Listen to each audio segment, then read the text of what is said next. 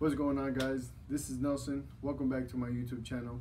And in this video, I'm going to show you guys how I do my real estate uh, content, how I put it out, what I do, what I use, and uh, hope you enjoy the video. Let's get right into it. So um, after doing tons of research on YouTube um, to find the best iPhone gimbal, um, I feel like the Osmo DJI is the best one. Right, that's just my opinion. But um, there's a package where you don't have to get all the accessories, but I recommend it. It's a little bit more, but um, it's, it's, important because you definitely need a tripod for it.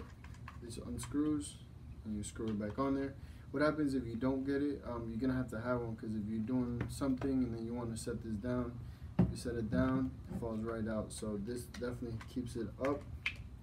So you just screw it and it's ready to go. Bam. All right, so um, let me show you how we use it. It's fairly simple.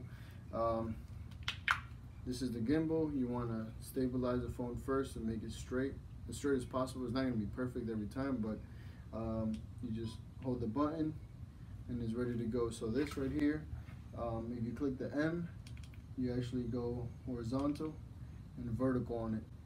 As simple as that. The other gimbals out there, you have to unscrew the back and then rotate this, so it just makes it um, quicker, you know, especially when I'm out there in the field, wanting to do a quick video, shoot it out to a client, post it on my social media. So real uh, user friendly, I feel. Um, you also have the joystick for it, and then you have the record button.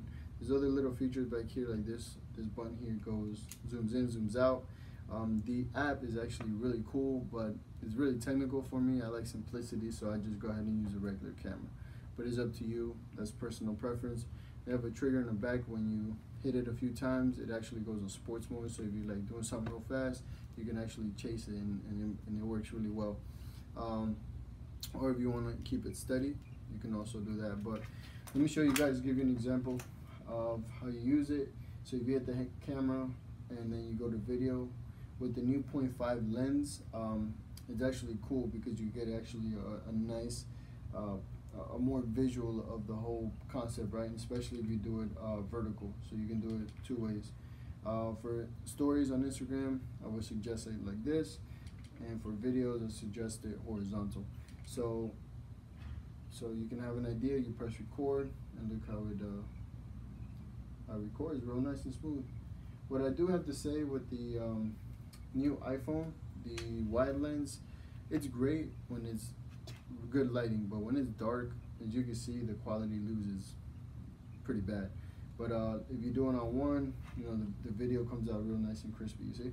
So if you're doing real estate videos, guys, please do it when there's, you know, during the day when there's a lot of light, open the blinds and stuff like that. So this is definitely a uh, game changer, this gimbal. I just recorded another video, which trying to get better at editing and stuff like that. Not try to be a videographer because that's not the idea, but when I'm sending out to a client out of state, I wanted to have that real good visual and the walkthrough as if they were there, right? So um, let's get right into it. Let me know what you guys think about the video.